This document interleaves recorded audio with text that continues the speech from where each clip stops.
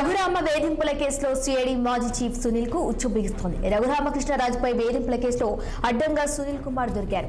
కస్టడీలో రఘురామకృష్ణరాజుపై చిత్రహింసలు చేసింది నిజమేనని వాంగ్మూలం ఇచ్చారు. రఘురామపై చిత్రహింసలు చేసింది నిజమేనని అప్పటి సిఐడి సిబ్బంది స్పష్టం చేసింది. రఘురామను నిర్బంధించిన గదిలోకి సునీల్ కుమార్ వచ్చి కొట్టించారని అప్పట్లో విధులు నిర్వహించిన సిఐ ఎస్ఐ సిబ్బంది వాంగ్మూలం ఇచ్చారు. రఘురామను కొడుతూ వీడియో కాల్లో సిఐడికి చూపించామని సిబ్బంది తెలిపింది. ఇక సిఐడి చీఫ్ అప్పటి సెల్ ఫోన్ లొకేషన్ కూడా తీసుకున్నామని పోలీసులు వెల్లడించారు. ఇక ఇదే అంశంపై మరింత సమాచారం మా ప్రతినిధి పవన్ లైవ్లో అందించేందుకు సిద్ధంగా ఉన్నారు. పవన్ చెప్పండి ఎమ్మెల్యే రఘురామపై వేధింపుల కేసులో సిఐడి మా చీఫ్ సునీల్ కుమార్ అడ్డంగా దొరికిపోయినట్టుగా తెలుస్తోంది. దీనికి సంబంధించి పూర్తి వివరాలేంటి?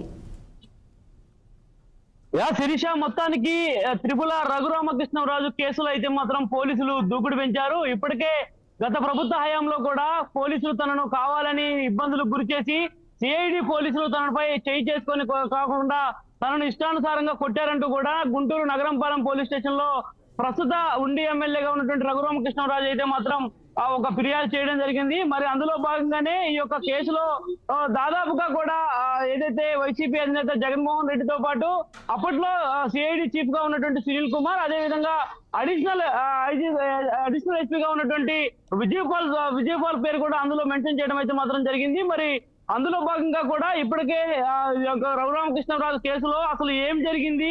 ఎక్కడ ఆ, రఘురామకృష్ణరాజుకు సంబంధించిన రా- రఘురామకృష్ణరాజుపై దాడి చేశారు అనేటువంటి దానిపై కూడా ఆ ప్రస్తుతం పోలీసులు అయితే మాత్రం పూర్తి స్థాయిలో కూపిరాగేటువంటి ప్రయత్నం ఆ, చేస్తానే ఉన్నారు. అందులో భాగంగానే ఇప్పటికే ఆ, పలు కీలకమైనటువంటి ఆధారాలు ఆధారాలను కూడా పోలీసులు అయితే మాత్రం ఆ సేకరిస్తున్నటువంటి పరిస్థితి కూడా కనిపిస్తా ఉంది. మరి ఈ నేపథ్యంలోనే ఈ యొక్క అంశంపై కూడా ఇప్పటికే అడిషనల్ ఎస్పీ విజయపాల్ను అరెస్ట్ చేయాలనేటువంటి ఒక నినాదంతో కూడా పోలీసులు పూర్తి స్థాయిలో ఆయన అరెస్టుకు రంగం సిద్ధం చేశారు.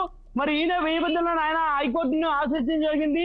ముందస్తు బెయిల్ కావాలంటూ కూడా హైకోర్టులో ఆయన ఒక పిటిషన్ దాఖలు చేసినటువంటి నేపథ్యంలో న్యాయస్థానం కూడా ఆ యొక్క బెయిల్ పిటిషన్ని కూడా కొట్టివేస్తూ ఆ తీర్పునిచ్చినటువంటి నేపథ్యం కూడా కనిపించింది మరి ఈ నేపథ్యంలోనే ఈ రోజు ఆ ఈ యొక్క కేసులో కూడా పూర్తి స్థాయిలో పురోగతి సాధించాలంటే మొదటిగా ఏఎస్పీగా గతంలో ఉన్నటువంటి మాజీ ఏఎస్పీ విజయపాల్ ఆ విజయపాల్ని పూర్తి స్థాయిలో కూడా విచారిస్తే అందులో ఇంకా ఎవరెవరు ఉన్నారు అనేటువంటి దానిపై కూడా ఒక క్లారిటీ వచ్చేటువంటి అవకాశం ఉందంటూ ఇప్పటికే అధికారులు కూడా భావిస్తా ఉన్నారు. మరి అందులో భాగంగానే పోలీసు ఉన్నతాధికారులు కూడా ఆ ఈ యొక్క కేసులో పూర్తి స్థాయిలో కూడా దర్యాప్తు చేయాలని చెప్పి భావిస్తా ఉన్నారు.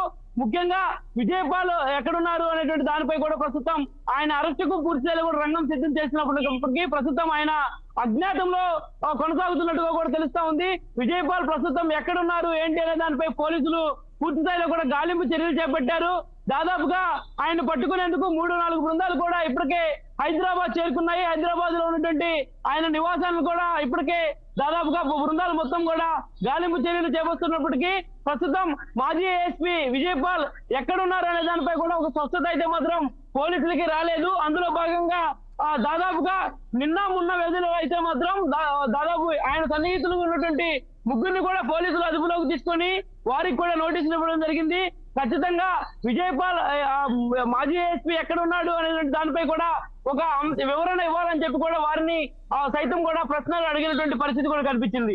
కానీ విజయపాల్ అయితే మాత్రం ఇప్పటి వరకు ఎక్కడున్నారనే దానిపై కూడా ఒక క్లారిటీ రాని నేపథ్యంలో మరోవైపు ఈ యొక్క కేసులో కీలక కీలకంగా ఉన్నటువంటి మాజీ సిఐడి చీఫ్ సునీల్ కుమార్కి మరింత ఉచ్చు బిగించుకునేటువంటి అవకాశం కూడా ఖచ్చితంగా కనిపిస్తుంది. మరి అందులో భాగంగానే ఇప్పటికే ఆ సునీల్ కుమార్ సైతం కూడా హైకోర్టుని ఆశ్రయించడం కూడా జరిగింది కాబట్టి ఈ కేసులో ఇంకా ఎవరెవరు పాత్ర ఉంది?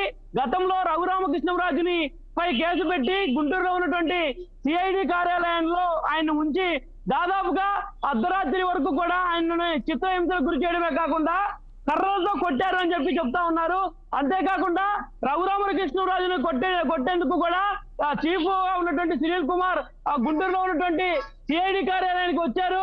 వచ్చి ఆయన సమక్షంలోనే తనను కొడుతుంటే ఆ వీడియోను ఆ ఎక్కడో ఉన్నటువంటి వైకాపా సంబంధించినటువంటి ముఖ్య నేతలకు ఆ వీడియో కూడా చూపించారు అనేటువంటి అభయోగాలను కూడా ఇప్పటికే ఆ రఘురామకృష్ణరాజు స్పష్టంగా చెప్తా ఉన్నారు. మరి చెప్తా ఉన్నారు కాబట్టి ఈ కేసులో ప్రస్తుతం ఉన్నటువంటి అధికార పార్టీ కూటమి ప్రభుత్వం అధికారంలో ఉన్నటువంటి నేపథ్యంలో కూడా ఆ గతం ప్రభుత్వంలో ఉన్నటువంటి అధికారులు ఎవరి తప్పుదల వల్ల రఘురామకృష్ణరాజుపై దాడి జరిగింది ఆయన్ని ఎందుకు కొట్టారు అనేటువంటి దానిపై కూడా ప్రస్తుత ఆ యంత్రాంగం పోలీస్ యంత్రాంగం మొత్తం కూడా పూర్తి స్థాయి కసరత్తు చేస్తా ఉంది. ఖచ్చితంగా ఈ యొక్క రఘురామకృష్ణ రాజు సంబంధించిన కేసులో ఎవరైతే కీలక నిందితులుగా ఉన్నారో వారందరినీ కూడా ఖచ్చితంగా అరెస్ట్ చేస్తామంటూ కూడా ఇప్పటికే అధికారులు అయితే మాత్రం స్పష్టం చేస్తా ఉన్నటువంటి పరిస్థితి కనిపిస్తా ఉంది. ఏదేమైనా కూడా ఆంధ్రప్రదేశ్లో ప్రస్తుతం రఘురామకృష్ణరాజు కేసు ఒక సవాల్గా మారినటువంటి నేపథ్యంలో పోలీసులు అయితే మాత్రం పూర్తి స్థాయిలో కూపీ లాగేటువంటి ప్రయత్నం అయితే మాత్రం చేస్తా ఉన్నారు. Shirisha. Okay right Pawan thank you